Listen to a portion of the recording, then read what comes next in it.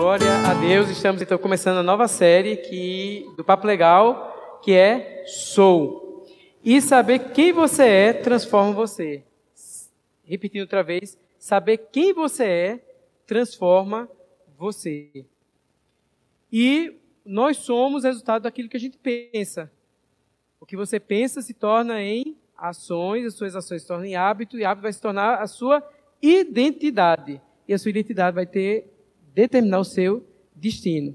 E sabemos que nós somos em Cristo vai fazer grande diferença no nosso destino e na vida que nós vivemos.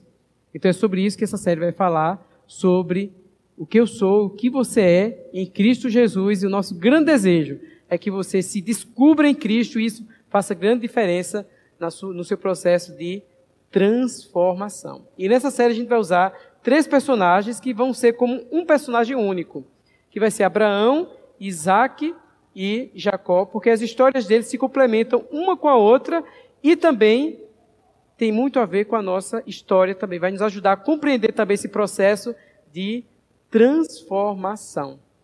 Então eu desejo que esses pensamentos transformadores alcancem você e transforme você para melhor, transforme para aquilo que você nasceu para ser. Nós podemos ter dois tipos de pensamentos. Pensarmos como uma lagarta ou pensarmos como uma borboleta. Ou você pode também ser assim, você ser uma lagarta que tem pensamento de borboleta, ou você ser uma borboleta que tem pensamento de lagarta. E aí, essa vai fazer a diferença, você saber quem você é.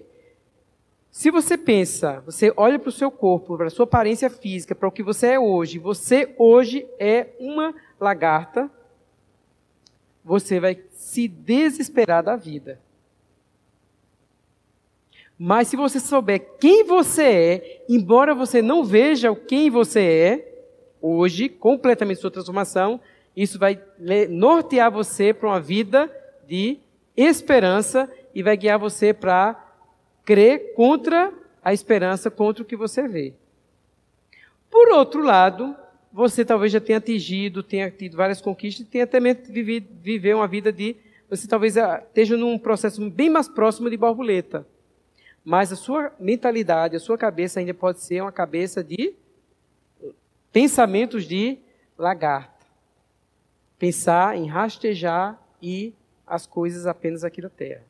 Mas nessa série, nosso desejo é que você descubra quem você realmente é e você viva isso. Eu sou. Aleluia. E você é quem Deus diz que você é.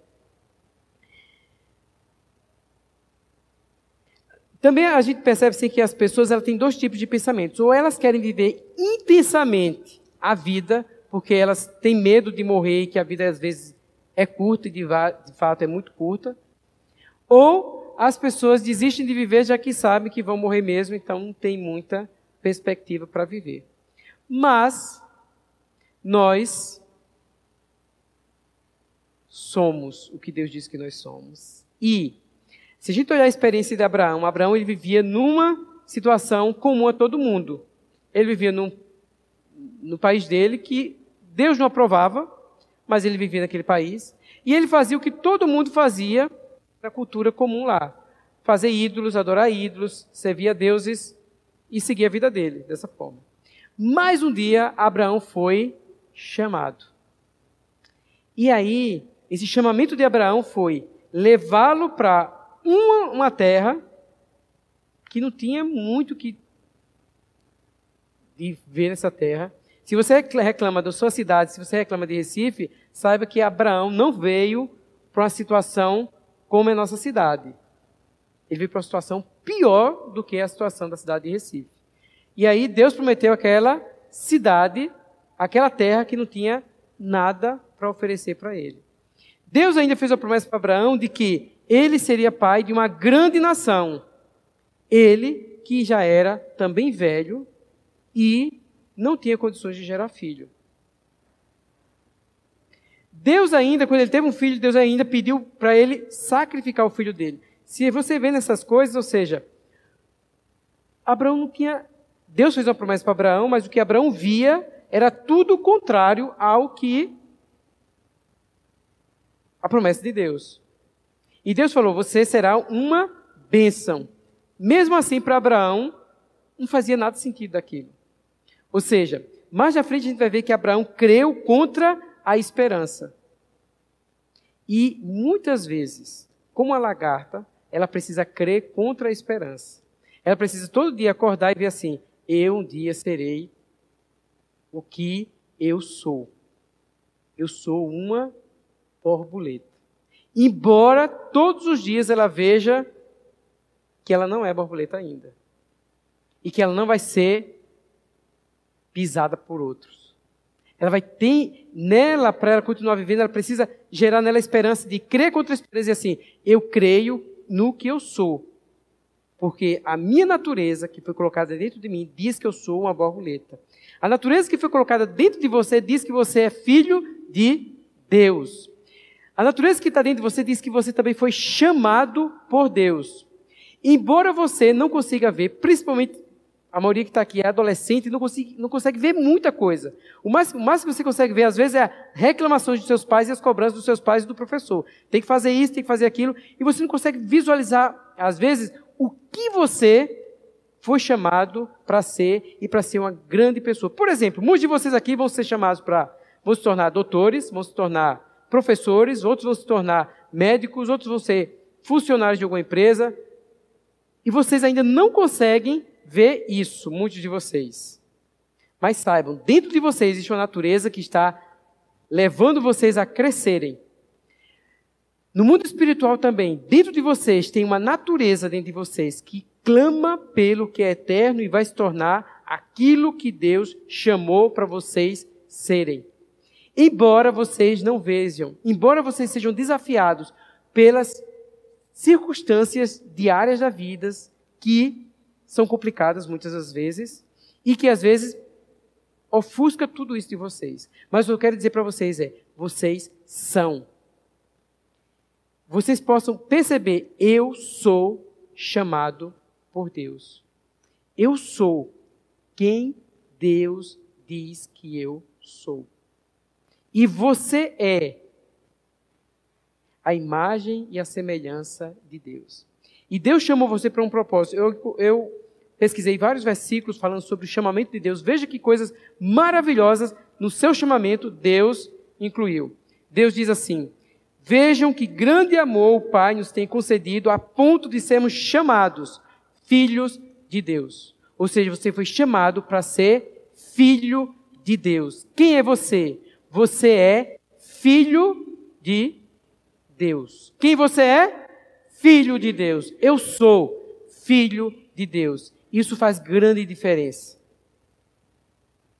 Entre esses se encontram também vocês que foram chamados para pertencerem a Jesus Cristo. Ou seja, você foi chamado para pertencer a quem você pertence. Eu sou de Cristo. Eu sou de Deus. Eu não sou do cão. Eu não sou das trevas.